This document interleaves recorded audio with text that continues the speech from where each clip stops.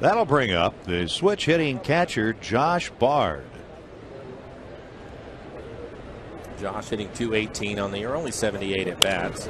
Yeah, this is just his 23rd start. Remember, seven full seasons in the big leagues. Otherwise, every season that he's been in the big leagues, he's also spent some time at AAA. Mariner fans. Fan Appreciation Day. Here's one loop to left center. Hamilton gliding in.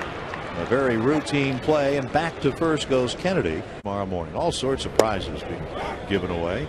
First pitch, a strike to catcher Josh Bard. It's for tomorrow's Kids Appreciation Day. Fastball is high, two and one on Bard. He breaks his bat, hits this roller just foul.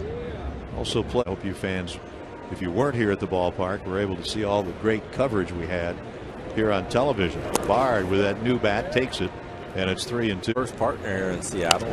Here's a foul back, still three and two. I, I, for the entire game last night.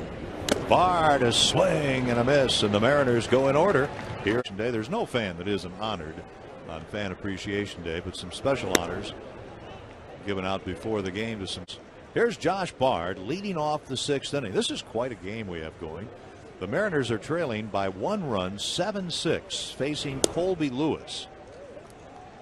And it's 2 0 on. See him leave this game and be 1 and 5 lifetime here. Two balls, two strikes. Pitches now for Lewis, 60 of those for strikes. Three and two.